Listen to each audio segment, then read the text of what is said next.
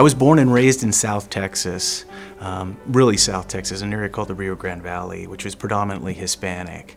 Um, it allowed me to kind of understand the struggles. I grew up in an area that was uh, economically impoverished. Um, the uh, dropout rates for high school were very, very high.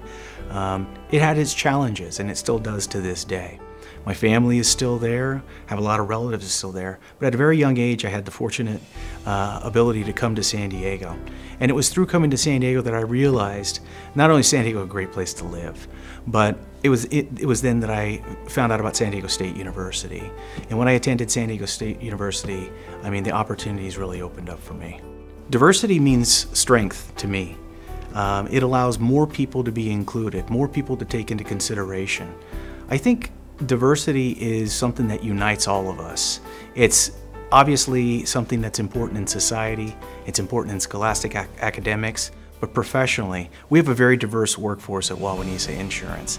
It runs the gamut, many different ethnicities.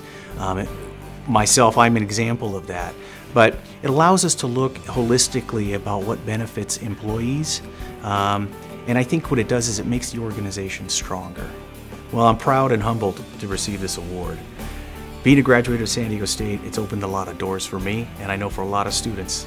As my relationship with San Diego State grows, I've made a lot of friends, made a lot of contacts, discovered a lot of wonderful things about the university, but certainly I've made a lot of memories, and this will surely be one of those.